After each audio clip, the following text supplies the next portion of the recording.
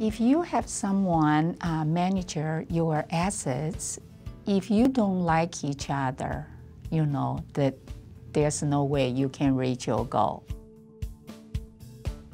I was a financial manager before I retired, so we have some, you know, financial background.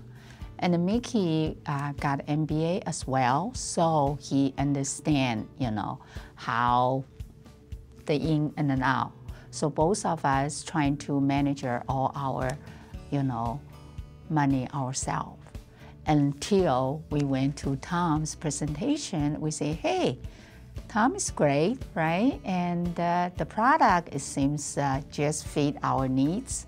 And we decided to join his group like a family. So he knows what my object objectives are. And uh, he knows what I want him to help me with. So that's made it very clear at the first meeting.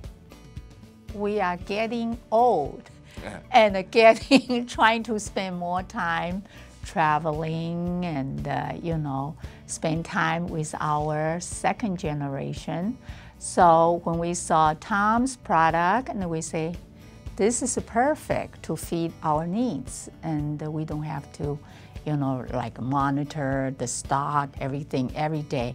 We can counting on Tom and uh, and his team. Yeah, and we say this is uh, our decision.